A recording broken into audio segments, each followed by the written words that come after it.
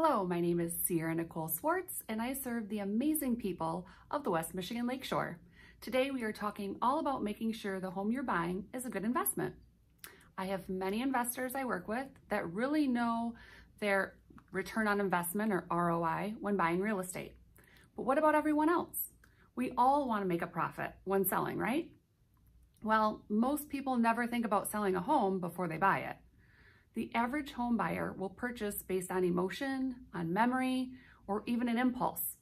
They can live in the house for years and be completely happy, but issues may arise when they try to sell the home down the road and discover that others see the house's fancy features as fatal flaws.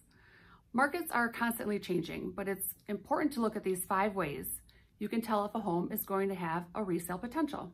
The first is great schools. A home located in good school district rarely uses, loses its value. All parents want their children to go to the best schools. Even if you don't have kids, buying a home in a good school district will ensure there's always a demand for your home when you try to sell. Second, location, location, location, location. This is the number one rule of real estate. Generally speaking, most buyers want a home that is centrally located to parks, shopping, amazing restaurants, Buyers also love views of the lake, mountains, cities. They like cul-de-sacs, safe neighborhoods, and considerate neighbors. Third, consider the flow. The structure of the home itself can have a major impact on its resale value.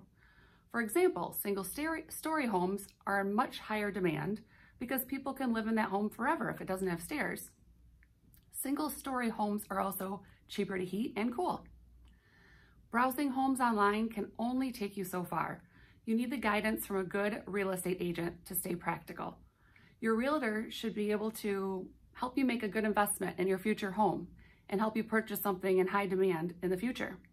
It's a lot easier for me to see the ROI on your next home purchase because I'm not emotionally invested and I know the market, I know the area and the neighborhood you're buying in and someday selling in. At this point, you may be convinced that you need some guidance around the area of buying a home that has good resale value, but you may also be thinking you have no idea where to start. If you're thinking about making a move, I can help you through the process. Just send me a message or text me at 248-709-7799. No pressure, no sales tactics, just the help and guidance that you need.